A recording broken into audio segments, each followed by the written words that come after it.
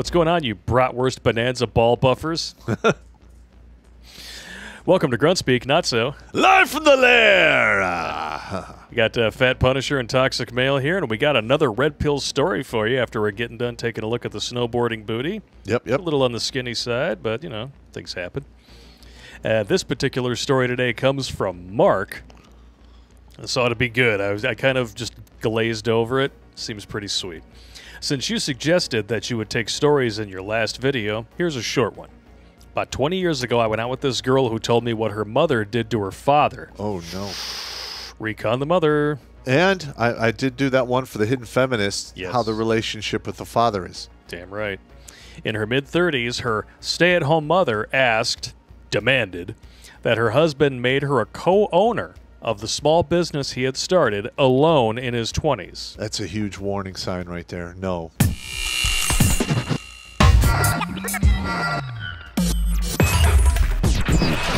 She did not want to put any money into it, just become a 50 50 business partner because she deserved it. Yeah, because of vagina. No. No. That is a huge mistake. that is a gigantic mistake. you- listen, you don't. Oh. Okay. Wow. Continue on. I can go on for hours talking about that. A- Any woman asks this of you, cut her loose. That's right. Done. Jettison. That's freeloading by any other name. There you go. There you go. Of course, he refused, as this was the straight way to divorce and being cleaned clear of all his hard earned belongings. Correct. In order to get what she wanted, she refused to sleep with him ever again. Get rid of her. Yeah. As soon as that happens. You're in violation of the marriage contract. why are you point. even in? The, bye. See you later. Don't let the door hit you where the good Lord And- split you. and listen, uh, we're trying to educate the dudes out there to, you know, turn their back on the dick thinking because a lot of guys fall for that because like, oh, I want to get some poon. So Yeah, no, no, it's not worth it. Trust me. But she was hoping that he would be so starved for shagnanigans he would give in to her ridiculous demand. He tried to do it with her for two plus years. Oh my god. Holy smoking chauffeur. I would my my breaking point is like six months. But was denied access to her love tunnel slash slot machine. That's exactly. He's using our lingo. I love it. her mother confided proudly to her daughter about her constant refusals to her father. Oh no. Pussy power in action and proud of it. I feel sorry for her father. Yeah, man, that's this is a manipulative, Yeah. narcissistic, entitled, selfish quantaha. Yeah, you should cover all that and recon the mother. We should probably redo that episode because there's a lot more we can add to it. I think. Would a quantaha by any other name be as loose? Probably. A kuwanta. Kawantaha. Princess Kawantaha of the Tamahachi tribe from the Slapaho Nation. Chief Kickabitch called. I think you need to go in for some disciplining and uh, peace piping. Just saying. yeah. After that, he simply stopped asking. So this is the moment where the man admits defeat, but still won't accept it. Yeah. Then she started spying on him naturally. Yes, well, if he's not asking me anymore, maybe I can get some, me some of that infidelity money from the divorce court. I mean the cash and prizes. Yep. Checking his cell phone for calls to uh, professionals slash other women.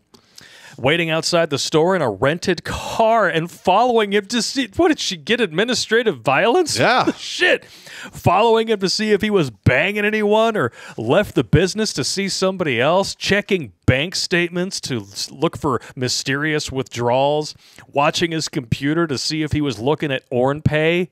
Who cares? Exactly. Result? Goose egg. Nothing. She found nothing. But as we all know, women hit their sexual peak at 40. Do they? Too little, too late. Yeah. I, I think it's uh, an artifact from uh, evolution. Yeah. They try to get one last uh, bun in the oven before Yeah. uh, oven shuts down. It's like, yeah, the fertility window is slamming shut, so they try to dive back inside where it's warm for a little while. Not a, not a good idea. Yep. And of course, this is the same time they hit the undefeated heavyweight world champion, the Wall. Wall. Yeah, to my knowledge, the only person who ever defeated the Wall was Chuck Norris, and that's only in tennis. Hmm. And she hit both simultaneously at 40. She finally understood that she would never, ever get the desired free ride in becoming a business partner. And as her desires grew, she only punished herself by denying her husband access to her smoked meat sandwich. The Arby's uh, roast beef and cheddar. Yeah. A little bit. so, after great consideration Oh no. and a major rush of hormones, major rush of hormones, Here we go. She decided that Her Majesty would allow her husband to fuck her.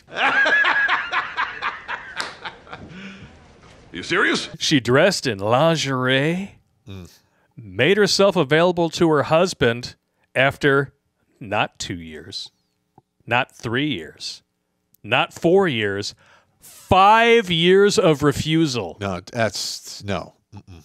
The father was a simp. He was an absolute simp. Wow. What was he doing for those five years? I, I mean, if you if Half you don't decade. take care of your business, eventually the good Lord will take care of it for you while you're sleeping, and then she's going to be pissed off even more because then she's going to be sexually frustrated, and she's going to be throwing laundry in there that looks like a two by four. Damn. Mothers of teenage boys do not enjoy doing laundry because you got to take that tube snock and smack it over your knee like kindling just to fit it in the hole. and heaven forbid you have to wash that shit by hand. I'm Oh, just no, saying. that's not happening. Yeah, And you know, some of these like modern mothers, you know, like the ones who totally don't diddle their students would be like,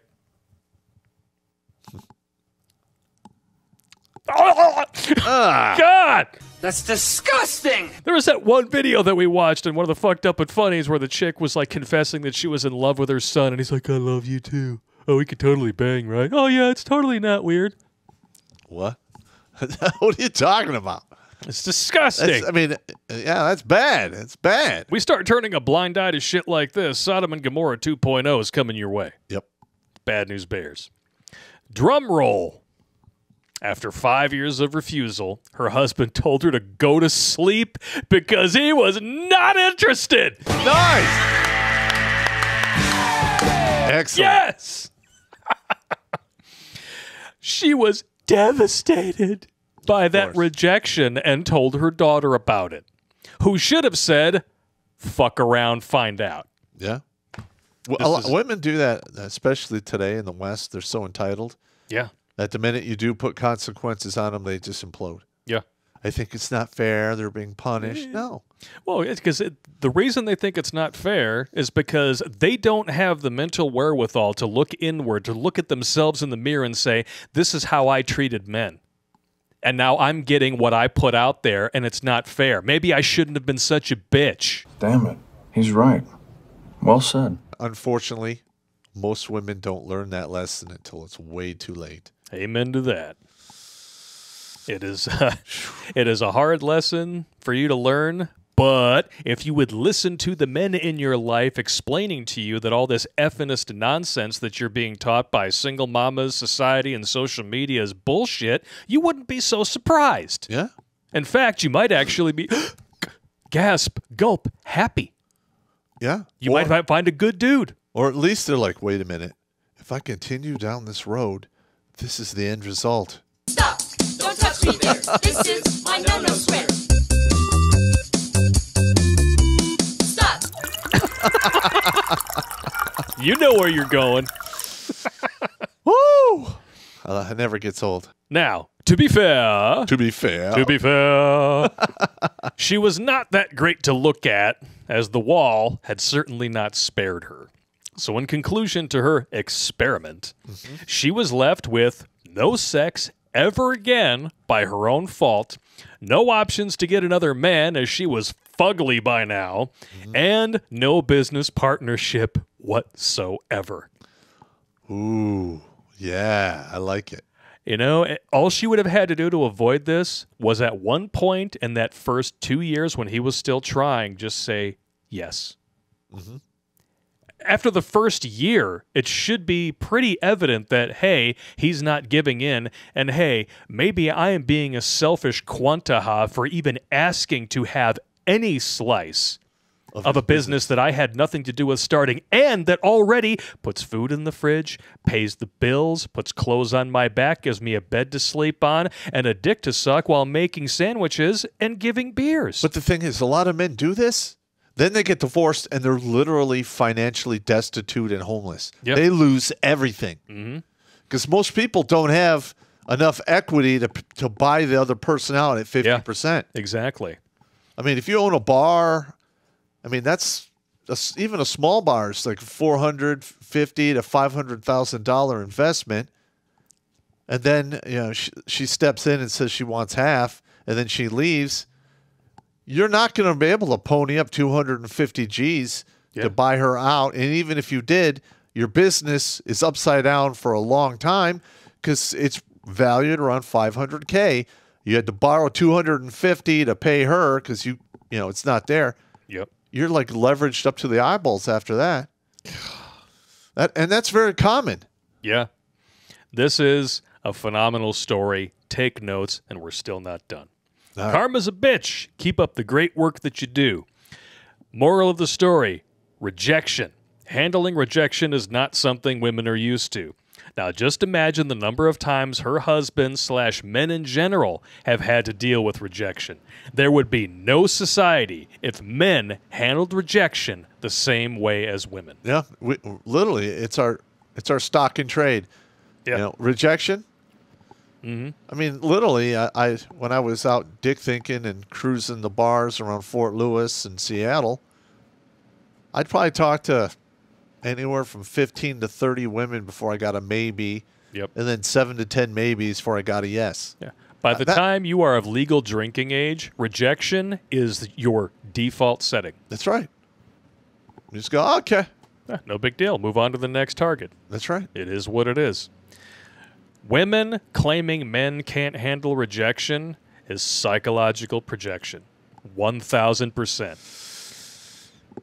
Bummer. What can I say? Yeah. And that's why you have these women who think that they can shit test men that they barely even know. They do this on in, on dating apps and We social did a media. whole like- video on shit testing. Yeah, they curb these dudes forever. They try to leave them in the friend zone, and then when these guys leave the friend zone and move on to somebody else, they get heartbroken. Yeah. Women say to you, you know, I, I'm, I guess I'm just not really feeling it. What they really want you to do is fight for them.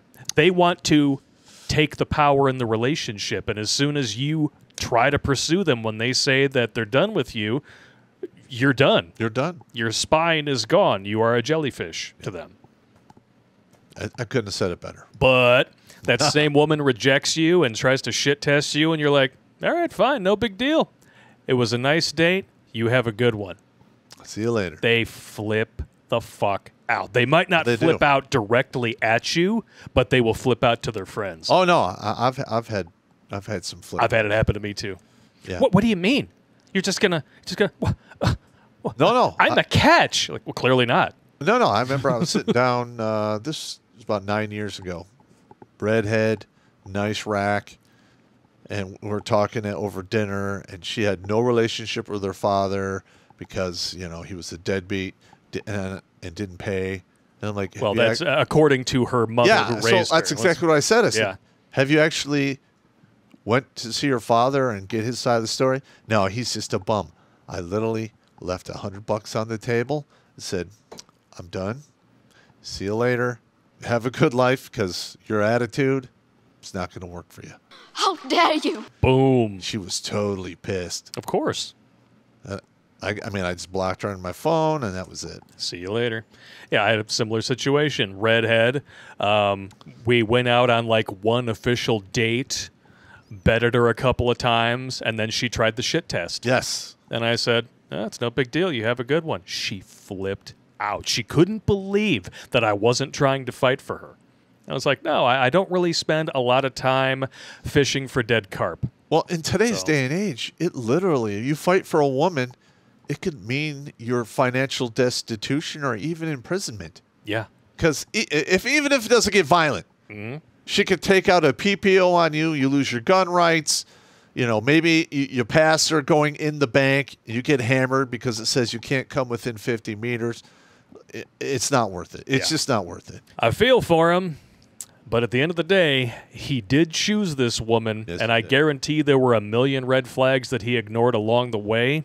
And he's very lucky that as soon as he refused, she didn't divorce him and take half his shit. In the end, Yep. karma got back at her, but this could have easily gone in the other direction. Yes, yes, it could have. So uh, that's why, yeah, even though I'm a married guy, I always say recon the mother, listen to the popster. He knows the deal. Observe the rules of the crazy gates. Make sure that you vet these women within an inch of their life before you even consider bringing them into your inner sanctum. And if you write a check against it, only do it once. That's right. Just one, one and done. Don't be one of those suckers who gets crushed by the rule of half, Yeah. losing half your sheet each time you get married and divorced. Exactly. Because after three divorces, you're worth a quarter of what you would have been worth Yeah. if you never got married. Just gonna say it's, it's the pizza analogy. Yeah. Every time you order a pizza, you expect a whole pizza to be in the box. Well, after divorce, you only get half a pizza in the box. After two divorces, you only get a quarter of a pizza in the box. Sooner or later, you're just picking up hot slices at Little Sleezers. yep. Fuck that. And nobody actually cares about those, and they're not that expensive. Probably because they taste like shit, and that's what they make you do. How come? Chicks, man. Uh, with that being said, though, gentlemen, I want to thank Mark for sending in this story. It's fantastic. Lots of wisdom in here in a very small package. Send us your stories, dudes, because your stories can save lives and add more to the board. Outstanding. All right. You guys are part of this community. Continue being awesome. Take it easy.